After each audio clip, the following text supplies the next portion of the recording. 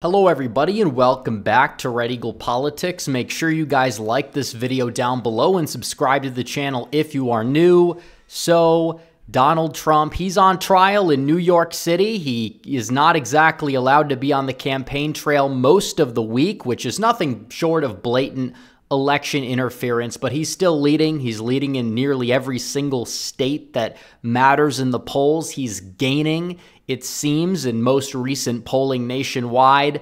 They just can't get him. And even when he's in New York City, which is not really a swing area, it's not really a swing state up in New York State, but he's still on the campaign trail. He's going out there. He's getting all this free media coverage for one. But for two, he visited the bodega in Harlem that has been crippled with crime under Joe Biden's administration. And a lot of New Yorkers are very fed up about that. And you look at Donald Trump right here. He's visiting this bodega in Harlem. You can you can look at this clip here. This is not in the middle of nowhere in Pennsylvania, Ohio, Missouri. This is New York City. We're going to play the clip here.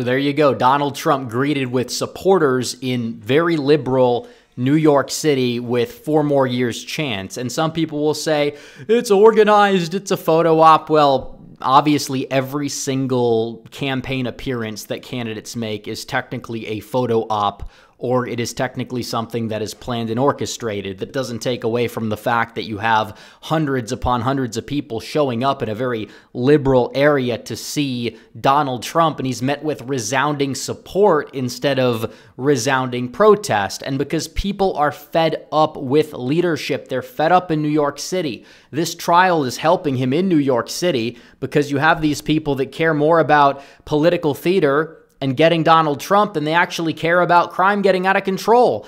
And they'll say, well, technically, crime isn't really rising, but we know that reporting is extremely flawed. A lot of people on the ground in New York City, they're talking about crime increases. It's been that way for about, you know, four or five years by now in New York City. And it's happening under this leadership that's extremely weak on crime. That's also why you saw Lee Zeldin come extremely close to knocking off Kathy Hochul for the governorship. Lee Zeldin himself came out and he said, New York, yeah, it's actually in play for Donald Trump due to this trial. Now, do I think Trump is going to win New York? No, but do I think New York is going to be closer? Do I think it possibly could hand Donald Trump a popular vote victory, which you'd like to have? It's technically a mandate, and Republicans have only won the popular vote once, going all the way back to 1988. Yes, you would like to have it. Does it really matter?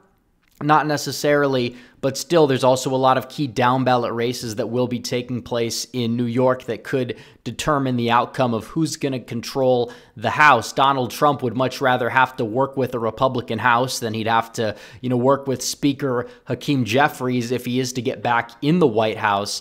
And Lee Zeldin, there's been talks, is he going to be on the ticket for VP? Who knows what's going to happen? We get new reports all the time about the VP stuff, but still, that's besides the point. The point is that New York, it's going to be more competitive than it's been in years past. That's not to say Trump's going to win it. I don't care that he's going to do these events there while he basically can. I don't care that he's going to go to New Jersey you know, we're talking about the fact that the conventions aren't for another, you know, three months or so. After the convention, yeah, Donald Trump, he needs to focus on the main seven. You know, maybe you throw in a Minnesota or a Virginia here and there, depending on what the polling shows. But, you know, even in 2016, you look at where Trump was campaigning at this point, it was not really, you know, consolidated in these swing states. It's funny, Joe Biden spending all this money doing like 10 events in Pennsylvania a day, getting a combined like six hundred people uh, total at like dozens of events. Donald Trump gets it in deep blue New York City at one event. But still, it's like Biden, he does his photo ops too. He goes into Wawa, nobody cares. He goes into Sheetz, nobody cares. He's just angering both sides of that fight by playing both sides, it seems. Uh, in the whole Pennsylvania war, I don't really know much about it, but there's a whole Wawa versus Sheetz. It's like, you know, tribalism for Pennsylvanians, I guess, to a certain extent. But the point is that Donald Trump in New York City, he is making gains. He made gains in 2020 in New York City. I mean, it's not talked about a lot, but he did. Now, the state didn't really, I guess you would say, move in his favor because of the rest of the state moving a little bit to the left. But now you're starting to see potentially a shift in New York City that's insane. Because you look at this Donald Trump in New York City, he is polling just 27 points below Joe Biden. Donald Trump lost New York City in 2020 by nearly double that margin. And when it comes down to it, we could put this in the election shuffler, Staten Island or Richmond County. We know Donald Trump, he's running up to dictator margins there. I mean, that's no surprise. They're definitely the forgotten borough. Donald Trump represents them fairly well. And Donald Trump is a 36 percentage point lead in Richmond. So we could do that in the election shuffler there. He expands his lead. You could look at Brooklyn, Kings County, Donald Trump lost it by 55 points. Right now, it's a 39 point game here. So we can adjust this and we could make it uh, 39 points in favor of Biden or just around there. And then you go to Manhattan. Manhattan, or technically New York County, 75 points for Biden in 2020. That's down to 51. Already you're seeing a massive, massive shift in Donald Trump's column. So we could move this up to a around a 51 point uh, win for Biden there. Then you can go to the Bronx in this poll. It's at 27. That is huge. This is a very Hispanic heavy borough. It moved like 11 points to the right already in 2020. If you're going to see another shift, it, it would take a 40 point shift. Is that really going to happen?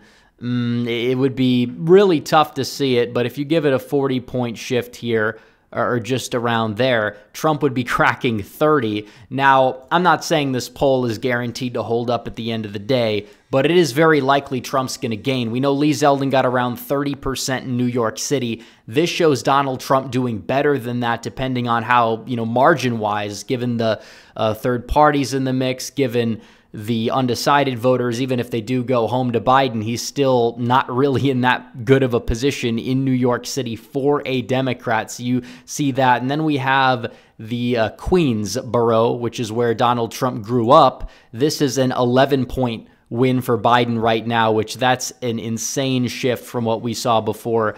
But you look at this, you take it down all the way to a Biden plus 11 or so victory. I don't really know why it says R plus 126. I'd probably ignore that. But you're seeing Donald Trump's margin in the state of New York. It's already cut in half. It's already cut in half. Uh, in this poll alone, you see it cut in half. Now, it doesn't take Long Island into account, where Republicans have been gaining quite a bit lately. I mean, if you want to move these two counties right by around, you know, I guess you would say 10, 15 points, we could probably do that. Um, give Republicans about a good, I guess you would say, maybe like a good 18, 19 point lead in them combined. Okay, statewide, that margin's being cut down to 10 already. If you talk about Westchester, maybe you could make some marginal gains there. Zeldin did in Rockland. If you see some shifts here, it's possible Republicans could pick off that county. So already the state goes down to a 10 point game, which is in line with most polls that we've seen, believe it or not. Will they hold up at the end of the day? That's another question, but still, is it possible Trump makes up the ground in the rest of the state to win? It's unlikely he's able to eat into that vote margin. It would be a lot of effort for a very tough fight, and he may still fall short. Now, it would be a prize he'd like to have, but my main contention is if you're doing that well in New York, if you're doing that well in, you know, the part of New York that's, I guess you would say, over in this area, then you're probably doing well enough in Pennsylvania, which if you get Georgia, which it looks like you're in a very good position to get Georgia, and if you get Pennsylvania, you're the next president. It doesn't matter what happens in Michigan, Wisconsin, Arizona or Nevada. Both, or I guess you'd say all four of those states are leaning in Trump's column right now, according to the polling and other metrics. But still, yeah, northeastern Pennsylvania, that is also huge. Philadelphia City proper, that is also huge. Now, is Biden going to gain a little bit here and there in the Philly suburbs? It's possible, but is he going to gain as much as he did in 2020? Probably not. And there's a decently high floor for Trump in those counties because they do have a sizable white working class population. So I think that what it shows is that if this other region is getting more competitive, if New Jersey is within 10, if New York is within even 15 points, then that is probably good news for Trump in Pennsylvania, especially eastern Pennsylvania. Some of these areas that may have moved away from him, if they rebound back and he holds his own in the rest of the state, yeah, Pennsylvania is going to go to Donald Trump. Donald Trump is probably going to win Georgia. Michigan and Wisconsin looking good. Arizona and Nevada still looking good. He's going to be the next president. But also, just based off of that shift alone, look what we were able to do to the popular vote. Uh, and that doesn't even take into account any other states, but that popular vote lead went down by one for Biden just based off of New York alone. Wait until you get to Florida, Texas, California, you name it. There's a lot of room for growth for Donald Trump. The polls are probably accurate. I think the popular vote is a dead heat. I think the Electoral College is where Donald Trump has the advantage, which is really all that matters, and that's what's uh, going to propel him to victory. But it's good news to see New York competitive because if it's that competitive or even close to that, that means Republicans are going to hold the House. And that means that Donald Trump likely is going to enter office with the trifecta and he can do whatever he needs to do to go out there and get things done come 2025. So anyways, guys, thanks for watching this video. Like this video down below, comment down below, subscribe to the channel, hit the bell for notifications so you never miss another video. Follow me on social media. The links are all in the description down below, and I will see you guys in the next one. Red Eagle, out.